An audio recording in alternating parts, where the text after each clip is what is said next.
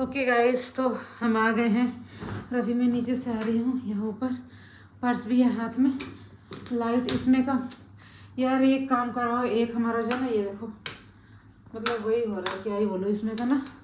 कुछ पता नहीं क्या फूक गया बिजली में से क्या किसमें कि अब एक भी लाइट नहीं जल रहा सिर्फ़ यही एक लाइट जल रहा है पता नहीं फ़ैन चल रहा है कि नहीं। फ़ैन चल रहा है को। हाँ ठीक कर देंगे? हाँ कल आज मैंने उसको फ़ोन किया था कह रहा भैया दिन में तो मैं घर पे ही था बारिश की वजह से काम था मतलब कहीं जा नहीं पाया था वो हाँ। तो दिन में बता देते। मैंने यार मुझे पता थोड़ा था कि ये खराब ऐसे जल्दी हो जाएगा तो कह रहा कल दोपहर में आके कर तो ये जो है यहाँ पे कपड़े मम्मी ने को पता है मैं नहीं थी बारिश की वजह से बाहर तो कपड़े सूख नहीं रहे तो पंखे में ही आजकल सूख रहे हैं तो मम्मी ने पंखे में डाल रखा। फिर सोफ़ा वगैरह तो अच्छा नहीं लगता ना से कोई भी आता डायरेक्ट सामने। इसलिए मैं इसको ऊपर लेती आ गई। मैंने पंखा चला दिया। अब यहाँ पे जो है अपना थोड़ा सूख जाएगा रात भर में। और बस मैं आ गई हूँ और मुझे आपसे एक ज़रूरी बात करनी है। उस बात को करती हूँ और ब्लॉग को एंड करती हूँ। है ना? बहुत हो गया। थक गए हैं भाई। थकान तो आप लोगों को दिख ही रहा है। जा रहे हो अभी कपड़े चेंज करने। हैं तो हुआ यूँ मतलब क्या ही बताऊँ, आज बहुत ज़्यादा भीड़ था मेट्रो में। मैं तो मेट्रो से आती नहीं, मैं कैब से आती, ठीक है? तो वहाँ पे जहाँ पे हमने थोड़े से वो पापड़ी चाट भल्ले जो होते, दही भल्ले वो खाए थे तो उन्होंने बोला था कि कहाँ भी यहाँ से, वहाँ से ना बहुत दूर जाना पड़ता हमें कैब के लिए बाहर, तब वहाँ मिलते, वहाँ अंदर चांदनी चौक में अंदर कैब नहीं आती है।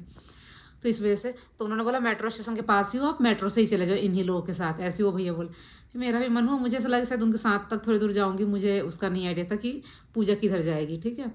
तो दो स्टेशन बाद ही हमारा चेंज होना होता है। फिर मैंने ना, मैं गई नहीं उनके साथ। फिर मैं डायरेक्ट अपना मेट्रो यहाँ का नोएडा का पकड़िया के लिए और मैं अपना आ गई। तो मैं दो स्टेशन के बाद हमें चेंज करना होता है। तो वहाँ से चेंज करके फिर उसके बाद मैंने नोएडा नोएडा का जो मेट्रो है वहाँ पकड़ा और उसमें मैं खड़ी थी। मेरे पीछे एक लड़का खड़ा था ऐसा साइड में।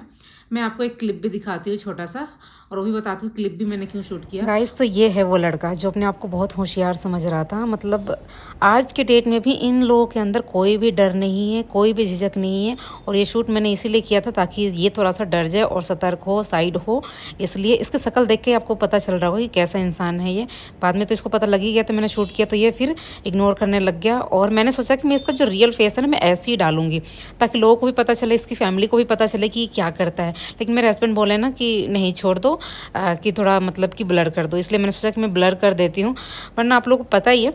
तो मैं कोशिश यही करूँगी कि अगर ये मतलब कि ऐसा कोई भी अगर ऐसा काम कर रहा है तो वो आगे ना करे क्योंकि हमें जो लड़कियाँ हैं ना, वो तो स्ट्रॉन्ग बने ही बने, लेकिन जो लड़के हैं ना, उनके अंदर उनकी जो सोच है, उनकी जो थिंकिंग है ना, वो भी चेंज करने और चेंज होने की ज़रूरत है।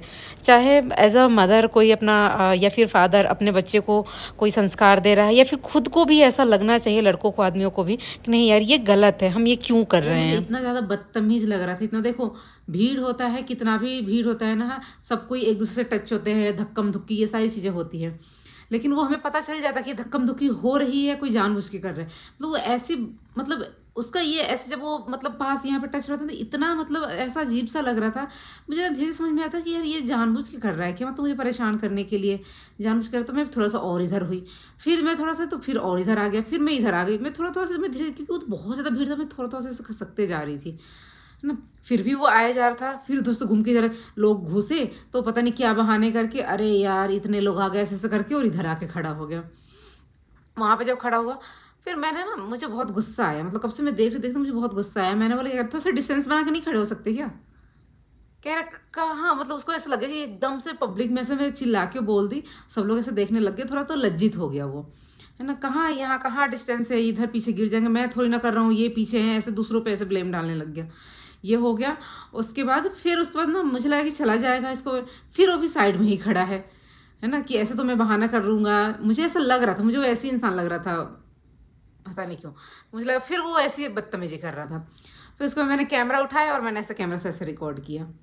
मेरे रिकॉर्ड करने के बाद उसकी शक्ल में उसने देख लिया कि यार ये कैमरे में क्यों रिकॉर्ड करिए मैं सच बता रही हूँ, मैंने सच में इसलिए रिकॉर्ड किया वो डर जाए।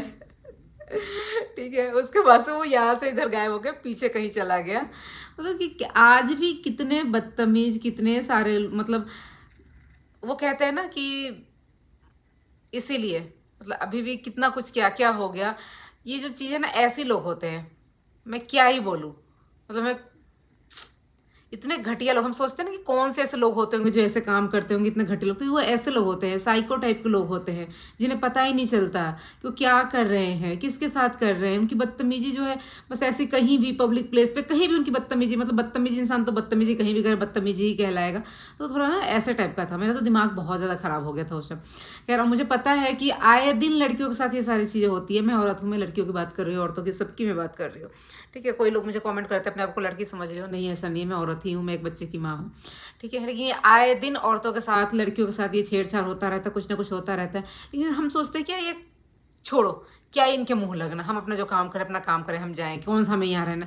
ऐसी चीज़ सोच के ना हम उन्हें इग्नोर कर देते हैं और ये चीज़ें जो है ना फिर बढ़ती चली जाती है। बस मुझे यही लगता है, लेकिन मुझे ऐसा लगता है ना कि ऐसे लोग इग्नोर नहीं करना चाहिए। वही ना सबके सामने उन्हें लज्जित कर देना चाहिए कि वो दोबारा फिर हिम्मत ना करे किसी के साथ, कि दोबारा फिर कोई दूसरा कोई भी उसके साथ ऐसा कर सकता है। नहीं, पर हम मैंटेलिटी जो है ना वो हम चेंज नहीं कर सकते। खैर छोड़िए इन सारी बातों को। टाइम तो बहुत मिला लेकिन हम शॉपिंग में ही रह गए बहनों से तो इतना क्या ही बात हो पाया कुछ नहीं। और वो मेरी मामा की बेटी थी सभी मिले पूजा भी आई हुई थी। बस आ, जो है अभी बहुत सारी चीज़ें खरीदारी नहीं हो पाई है। दो तो तीन तीन या चार साड़ी आरती का गायब हो गया था। बिलिंग नहीं करवाई थी दूसरे काउंटर पर चली गई थी तो वो किसी और ने खरीद लिया। चलो ठीक है, कोई नहीं, अभी दोबारा जब जाएँगे तब ले लेंगे। आज भी बहुत सारी शॉपिंग हो गई थी और ख़रीदारी इतनी ज़्यादा हो गई थी कि फिर अब दूसरा कुछ लेने का, देखने का मन नहीं करता। ऐसा लगता है, यार, ये भी तो अभी तो लिया ऐसे टाइप का, वैसे टाइप का। ऐसे हो जाता है। देखा, पसंद आया, नहीं आया। है ना, कितना पसंद करेगा इंसान, है ना? बस वो सारी चीज़ें थी। तो बस और बाकी सारी तो शॉपिंग हो गई है। फिर नेक्स्ट जो शॉपिंग है, वो देखते हैं क्या होता है, कैसे होता है। अभी बहुत सारी शॉपिंग करनी है। और हमने जो आज लिया, सूट लिया और साड़ीज ली तो सूट भी बहुत प्यारे प्यारे सूट थे, थोड़े कॉस्टली थे। वहाँ पे मतलब कि एवरेज जो रेंज होता है उसमें भी थे, लेकिन कॉस्टली भी थे। और आपको पता है चॉइस के ऊपर होता है। अब एवरेज पसंद कर रहे हैं हम कॉस्टली पसंद कर रहे हैं मतलब अच्छे अच्छे सुंदर सुंदर सूट थे तो वो हमने लिया। चलिए, ठीक है। वो पापा ने ये बोला हुआ था ना कि अभी आगे पितरपस चढ़ जाएगा। मतलब जो श्राद्ध होता है, फिर नवरात्रि, ये तो जा नहीं पाओगे, हो नहीं पाएगा, फिर स्टिच करवाना है। तो लेट हो जाएगा, नहीं हो पाएगा तो जाके ले आओ। रात में ही फ़ोन आया था पापा को। तो चलिए ठीक है तो हम ले आए और अभी अगली शॉपिंग करेंगे। और बस आपको ऐसे प्यारे प्यारे व्लॉग देखने को मिलेंगे तो चैनल पर तो चैनल को सब्सक्राइब कर लीजिएगा, साथ में बेल आइकन दबा दीजिएगा। मिलते हैं नेक्स्ट व्लॉग में, तब तक के लिए बाय बाय बाय गाइस